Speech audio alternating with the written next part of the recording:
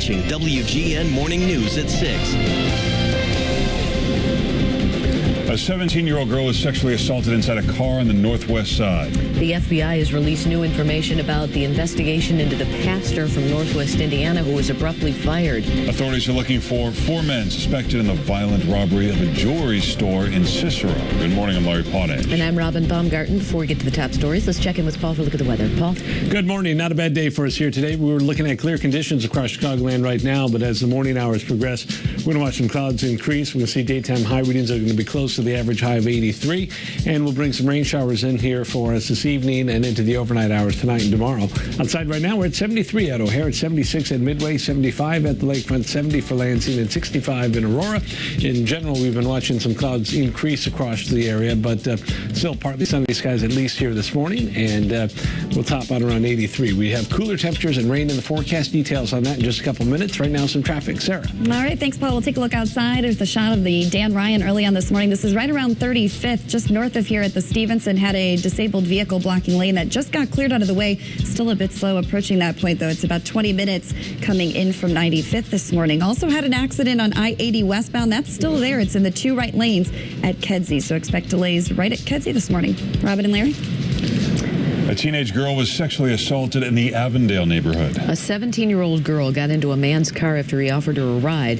The man then threatened her with a gun and drove her to an alley in the 2700 block of North Artesian. The man sexually assaulted the girl, who then got out of the car and called police. Police did not release a description of the suspect or his car. At this point, no arrests have been made. Bomb and arson units are investigating a fire that damaged six garages on Chicago's north side overnight. Firefighters were called to the alley between the 1600 block of West Farragut and West Berwyn uh, just before midnight. Uh, officials say the fire was intentionally set in one garage and quickly spread to the others. The fire has been put out. No one was injured, but property was damaged. An elderly woman was killed after she was hit by a megabus near Union Station. 76-year-old Donna Halstead was crossing the street yesterday when the bus made a left turn and hit her. The bus driver, Shamika Hudson, was cited for failing to yield to a pedestrian. Megabus says it's working with police to investigate that incident. This comes less than a week after a megabus crashed downstate. Last Thursday, one person died and dozens more were hurt after the bus crashed on I-55. The former pastor of a megachurch in Hammond could face federal charges if he had an affair with a minor. The Northwest Indiana Times reports Jack Schaap is being investigated for taking a female church member across state lines for illegal sexual activity. The FBI is also looking into whether she was below the federal age of consent, which is 18 years old. A church spokesman said the girl is 17. Indiana law sets the age of consent at 16 in most cases. Schaap was fired from his post as pastor of the First Baptist Church last week. He is married to the daughter of the church's founder.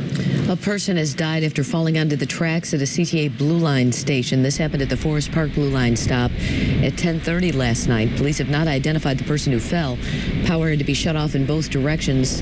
A shuttle bus took passengers from Forest Park to the Harlem and Oak Park stations for several hours overnight after that incident. Service to the Blue Line the station this morning and the whole Blue Line back to normal.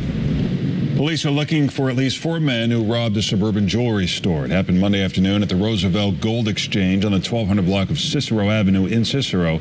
The men walked into the jewelry store, tied up and beat the clerk, and got away with $40,000 in cash and jewelry. The entire robbery was captured on video. They weren't able to take the actual security camera because of the owner's dog. When captured, police say the men face armed robbery and aggravated battery charges. The judge in the Drew Peterson trial may toss out more testimony this morning. Randi Belisomo's live at the Will County Courthouse with more. Randy?